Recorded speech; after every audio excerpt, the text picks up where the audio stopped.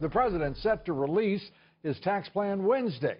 We don't know just how, well, how much detail will be in it, but we'll find out when Treasury Secretary Mnuchin uh, says uh, the administration is focusing on three major priorities. Middle income tax cut, a priority of the president's. Simplification. The average American should be able to do their taxes on a large postcard.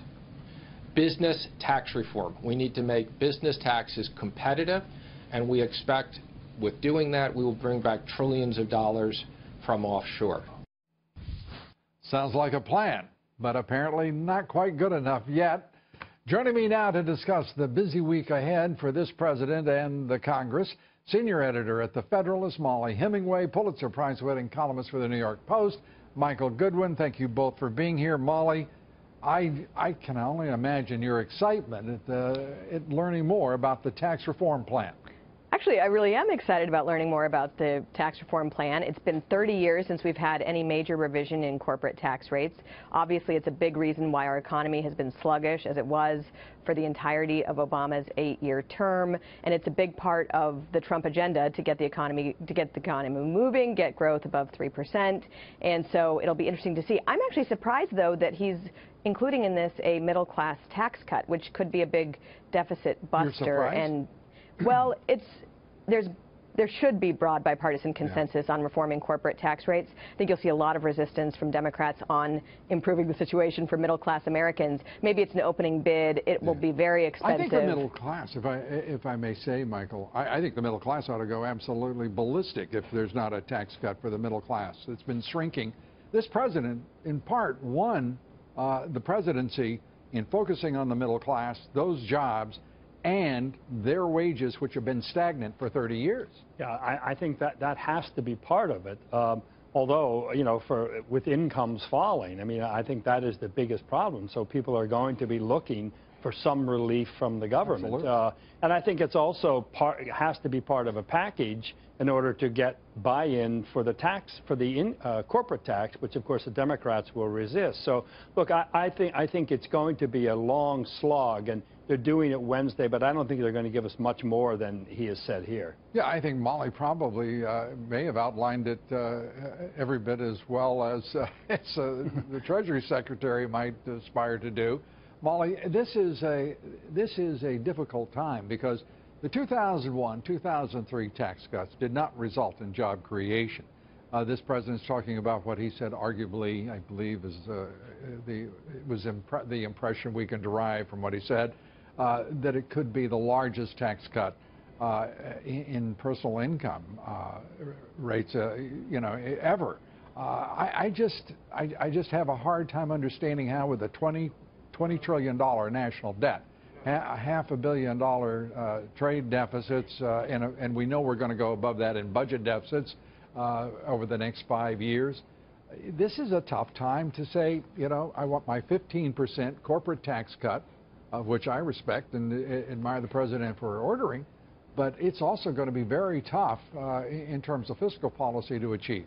Well, it is very important that people understand, though, that our high corporate tax rates, which are globally, you know, unmatched, they are so high, they're really corrosive to expanding business, to keeping business here in this country. That mm-hmm. is, if you reform those, if you reform the tax code as it relates to these big corporations that are easily finding it that they can just pick up and go elsewhere, that does help middle class voters. That helps all voters and all people who are beneficiaries of a thriving economy. Our economy has been so sluggish. There needs to be change here. But it is true that I don't think people care that much about deficits, at least as much as I do. But a middle class tax cut mm. will be explosive to the deficit in a way that corporate tax changes might not be. Michael is nodding his head in, in uh, animated agreement. Uh, I, am reserving mine.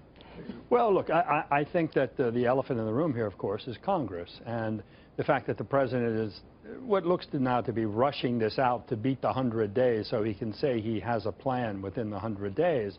I mean, Mnuchin has already said he doesn't think anything will get through Congress this year.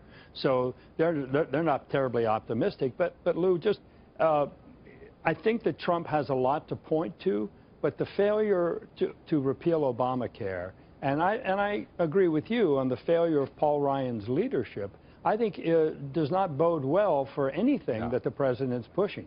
if they don't replace this uh, this this speaker, uh, for want of a better uh, word, uh, they're, they're, they're going to be in real, real trouble. Uh, they've got enough without having to put up with a speaker who is, has gone rogue and, uh, frankly, is suffering from delusions of grandeur. He's also MIA. I mean, where has he been? Well, he's Europe? pursuing his foreign policy, don't you know? He's been in Europe uh, straightening things out over there uh, so that uh, when whatever his aspirations are are realized, uh, it'll all be set in place. I, the man is, has lost it. There's no question. Uh, Mollie, I want to just say to you, the, uh, the, something that's not discussed in terms of corporate tax rates often enough, in my opinion, is the effective tax rate. And the effective tax rate in this country, as you know, is about 17 percent.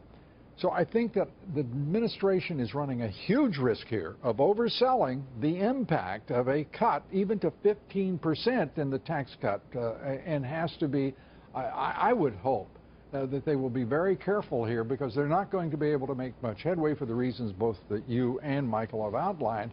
I, I mean, there, I just see all sorts of trouble being created uh, over in the House where they're not ready to, to line up. What do you think? Well, a couple of things. One, I actually do think we'll see some news here on health care, and the fact that Paul Ryan has been quiet might be a good sign, given how poorly he handled the first rollout of, uh, of repealing Obamacare. Do you think this man really learns anything? I, I hope so. And the, the first rollout was. That's a, we, we, can, we, can all, we can join in hope, if not. Uh, and I'm being told we got to wrap up, so uh, go ahead, please. But President Trump has made it clear that he would like health care taken care of before they deal with the tax rollout because it Yeah. is important to get those savings That 900 so that, billion, right. that we can we can pay forward on these corporate tax rates. And the marginal tax rates are still cartoonishly high for, you know, when you compare to what's happening in other like countries. that. And Cartoonishly high. I mean, they're really out of step with what's happening in other countries, and this is I not mean- a way to be competitive in a global environment.